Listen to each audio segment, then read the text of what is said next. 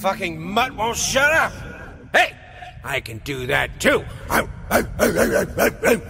See? But can you paint? No? Well, that's alright. Neither can I, apparently.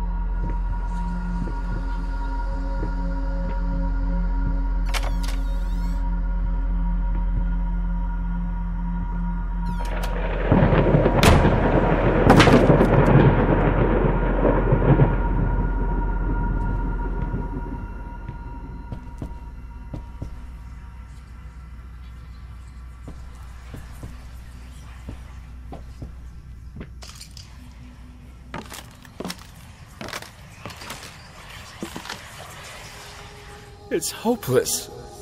I. I just can't take it anymore. I might as well try to paint with both of my arms broken.